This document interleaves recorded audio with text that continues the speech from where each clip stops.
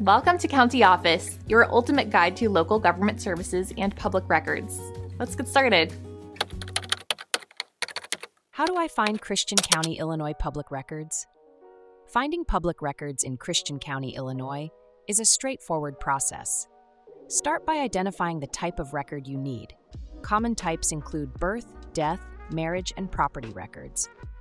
For vital records like birth and death certificates, you can contact the Christian County Clerk's Office.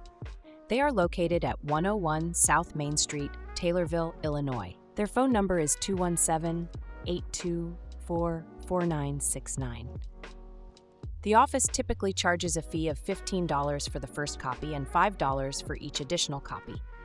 If you need marriage records, you can also obtain those from the county clerk's office. Be prepared to provide identification and possibly fill out a request form. For property records, the Christian County Assessor's Office is the right place to go. They are located at the same address as the county clerk. You can reach them at 217 824 4969.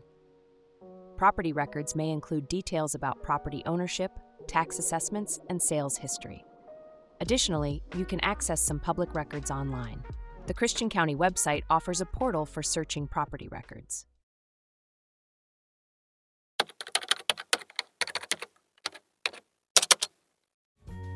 To learn more, check out these links, which you can click in the description below.